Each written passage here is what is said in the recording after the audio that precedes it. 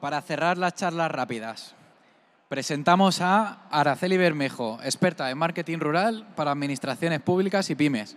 Desde 2021 gestiona Desafío Like, una agencia enfocada a potenciar el marketing digital en el ámbito rural y nos va a venir a hablar de cómo llevar WordPress a ese mundo rural. Adelante, Araceli. Gracias. Bueno, buenas tardes a todos. Ya acabamos este ciclo de charlas rápidas y bueno, pues vamos a ello, ¿no? Que son 10 minutillos, así que bueno, eh, como bien me han presentado, pues eh, tengo esta agencia de marketing rural, como la llamo yo. Entonces, básicamente lo que os voy a contar hoy va a ser destriparos mi modelo de negocio, por si alguien eh, le sirve para, oye, coger ideas y poder aplicar algo a, su proyecto también, ¿vale? Eh, lo primero, y antes de que se me olvide, me gustaría dar las gracias a toda la comunidad de WordPress porque es mi primera ponencia en una WordCamp. De hecho, es mi primera ponencia eh, personal. Así que, vale, que mira la cámara. es mi primera ponencia presencial. y bueno, eso, que muchísimas gracias por la oportunidad y que espero repetir si sale bien la cosa. Y que nada, encantada de estar aquí de que me acompañéis todos los que estáis aquí esta tarde, ¿vale? Eh, gracias. Bueno, eh, para quien no me conozca ya me han presentado un poco, pero bueno, soy Araceli, vengo de Burgos, aquí cerquita del norte. Eh, empecé justo cuando comenzó la pandemia en el mundo WordPress, hace poco, unos tres años o así, y es curioso porque se lo contaba ayer a a Yannick, a, a Guajari también, que bueno, mi primera WordCamp fue la WordCamp online esta que se hizo justo durante el COVID, porque en el curso que estaba haciendo yo, pues nos dijeron, eh, hay una WordCamp, pero bueno, tiene que ser online ahora, así que esa fue la primera y desde 2021 pues ya tengo esta agencia enfocada a marketing rural. Y os preguntaréis, ¿qué es eso de marketing rural? No, venga, cuéntanoslo ya, que también queremos sacar unos euros nosotros también, ¿vale? Pues bueno, eh, He sacado algunos datos simplemente por, por información, ¿vale? El 20% de la población española vive en zonas rurales. Y diréis, claro, cada vez es menos, efectivamente, pero como hay muy poca gente haciendo caso a ese 20%, pues bueno, al final es un nicho de negocio bastante majo para explotar porque hay poca gente que igual se esté enfocando en ese sector, ¿no? Además, bueno, pues yo tengo la suerte de vivir en Burgos, que es la provincia de España con más municipios, 371, si lo buscáis en Google, y bueno, pues para mí es una gran oportunidad ya que estoy en esa zona rural, aunque yo vivo en Burgos ciudad, me dedico a toda la provincia de Burgos y bueno, pues al final hay bastante tarta que cortar, ¿vale? Y luego, a pesar de lo que podáis pensar, ya el 65% de las viviendas en zonas rurales tienen acceso a redes de banda ancha.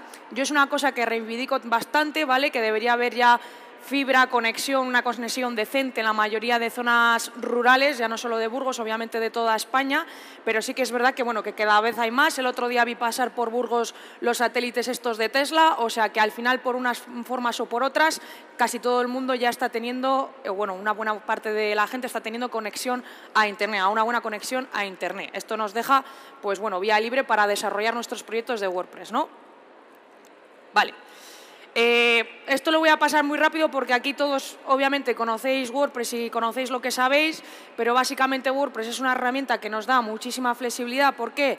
Porque permite la creación de sitios web altamente personalizables y adaptables para, por ejemplo, ese mundo rural, una facilidad de uso. Yo algo que hago eh, con todos mis clientes, que les creo una página web, es obligatoriamente que reciban formación para que luego ellos también sean capaces, pues eso, de meter unas entradas al blog o tal, para que esa web no se quede muerta, ¿no? Y bueno, pues que es muy intuitivo y tiene una interfaz muy amigable. Y por último, pues esa visibilidad en línea, ¿no? Esto es especialmente valioso pues para ese sector turístico, para promocionar productos locales, para atraer posibles inversores. La semana pasada estuve en un encuentro de empresarios de la zona de la Ribera del Duero, de Burgos, y por ejemplo había un grupo de chavales que acaban de acabar la carrera que habían montado como una especie de crowdfunding con blockchain y vendían tokens a gente para que invirtiese en rehabilitación de viviendas. Pues, por ejemplo, están buscando inversores y obviamente necesitaban una página web donde la gente supiese dónde meter eh, eh, ese dinero que, estaban invirtiendo. ¿vale? Bueno, eh, os voy a contar los dos principales clientes que tengo yo. Por un lado son las administraciones públicas y por otro los negocios locales. Como os he dicho, pues bueno, os voy a destripar básicamente cómo consigo yo estos clientes y qué es lo que hago eh, en mi agencia, ¿vale? Eh, lo he dividido en tres. Eh, por una parte, pues obviamente ayuntamientos. Justamente antes hablaba con, con un compañero de aquí que, bueno, que un ayuntamiento le ha contactado para hacer una página web corporativa. Por ejemplo, en Burgos la Diputación sí que es verdad que pone unas páginas web gratuitas a todos los ayuntamientos, pero bueno, son bastante limitadas y entonces ayuntamientos que son un pelín más grandes a veces tienen presupuesto para crear esa página web corporativa, muchas veces pues eso, para ese sector turístico, para atraer eh, incluso nuevos eh, pobladores, etcétera. Entonces por ahí podemos intentar vender eh, nuestros servicios una landing page para inscripción de eventos deportivos. Por ejemplo, en Burgos ha sido hace poco el Cross de Atapuerca, que bueno, es un cross internacional, es por poneros un ejemplo, o eso, cualquier ruta de BTT, ahora que la gente está con el deporte hasta el infinito, pues bueno, una landing page con formulario de inscripción para que la gente se pueda apuntar, incluso una fácil pasarela de pago para que paguen su inscripción, podría ser una forma de vendernos. Incluso, bueno, he visto yo en algún ayuntamiento también, pues plataformas de participación ciudadana. Como ahora todo el mundo quiere ser transparente, pues bueno, vamos a hacer eh, plataformas de eh, participación ciudadana para que puedan ellos decidir en qué se van a gastar los próximos presupuestos. Hay veces que esto se hace también en los pueblos, ¿vale? Los grupos de acción local. No sé si alguien sabe aquí lo que son los grupos de acción local. ¿Sí? Vale, pocas manos veo, pero bueno, básicamente son en teoría asociaciones sin ánimos de lucro, pero que no dejan de ser una administración pública. En Burgos, por ejemplo, tenemos siete, ¿vale? Y lo que se encargan es pues de, mm, eh, de desarrollar pues tanto repoblación como turismo, como empleo pues de diferentes áreas. Pues Burgos es una provincia bastante amplia, entonces tiene siete y los que sois de Madrid, pues por ejemplo conoceréis una es la zona de la Ribera del Duero, otra es la zona de la Arlanza, las Merindades, que es la zona norte de Burgos y es más grande incluso que toda Álava, pues bueno, pues hay estos grupos de acción local que se encargan de dinamizar un poco el territorio. Entonces podemos ofrecerles una página web corporativa, en la zona norte, en las merindades, por ejemplo, se ha hecho hace poco un e-commerce para que obviamente esos negocios locales que igual no tienen tanto presupuesto como para poder tener su propio e-commerce, pues han hecho un e-commerce corporativo para toda la zona y claro, lo han sacado eso a concurso y claro, pues al final es, un, buen pico. Eh, hasta hace poco hubo unas plataformas de apoyo a mujeres emprendedoras, esto venía de unas subvenciones de la Junta de Castilla y León, entonces yo, por ejemplo, con eso he trabajado bastante, pues bueno, también necesitaban un blog, también necesitaban una página donde poner todos los recursos de formación que estaban dando estas mujeres, etcétera. Y por supuesto, pues promoción turística. Y luego a nivel diputaciones, eh, pues bueno, pues también esos portales de turismo. Yo, por ejemplo, eh, ayudé a eh, trabajar en el pliego de la página de turismo de la provincia de Burgos, pero también ayudé, pues aunque no sea solo la digamos, la raíz, pues también podemos hacer otras páginas web. Una de románico de la zona de la Bureba, una de turismo MICE, que es el turismo de congresos, de incentivos, como podría ser este, ¿vale? También pueden necesitar de vez en cuando páginas web pues, para un plan estratégico que suelen hacer de cuatro años o partidos políticos mismamente, ¿vale? Y como os decía, pues bueno, la otra pata son los negocios rurales. Por una parte, eh, yo vengo del turismo, entonces para mí el turismo rural es una parte importante de mi negocio. Casas rurales, eh, turismo activo, eh, Camino de Santiago, incluso asociaciones. Muchas veces en los pueblos son asociaciones las que más o menos dirigen un poco todo, ¿vale?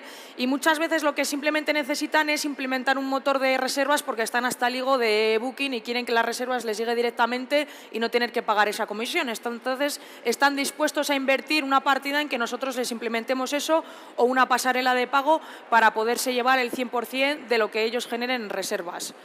Por otra parte, pues bueno, productos eh, locales, como os he dicho, pues eh, hay veces que, oye, es que sí que se tienen esos recursos y pueden crear su propio e-commerce para vender quesos, para vender eh, miel, para vender cestas de frutas, lechazos, bueno, de todo. Incluso pues una landing para promocionar una feria local que pueda haber pues del caballo del losino, bueno, os podría dar miles de ejemplos, ¿vale?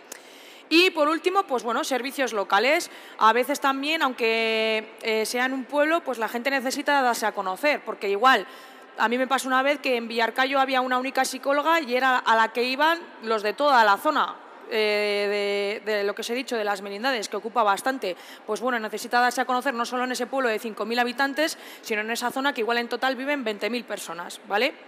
Eh, pues eso, servicios de diseño gráfico. Hace poco me contactó una persona que quería hacer un tema de préstamos de libros y demás, entonces necesitaba un e-commerce también, un estudio de grabación, por ejemplo, una pista de paddle para que puedan reservar las plazas y demás, o incluso es una carta digital o un servicio de comida a domicilio. ¿vale? Estos son algunos de los ejemplos de trabajos que yo he tenido.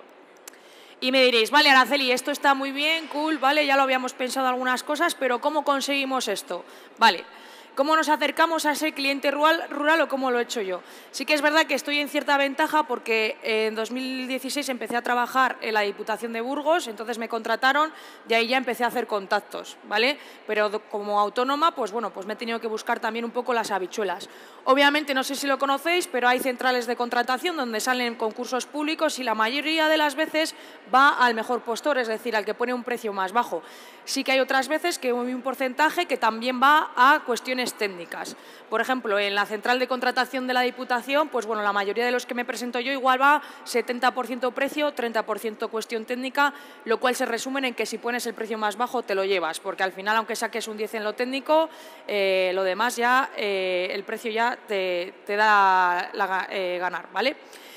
resoluciones de subvenciones mismamente, pues bueno, ha salido una subvención de unas ayudas a la digitalización. Pues yo voy llamando uno a uno así como lo veis, porque eso es público, y le digo, oye, mira, soy fulana, tengo una empresa aquí y si quieres te mando un mail con mis servicios por si te interesa.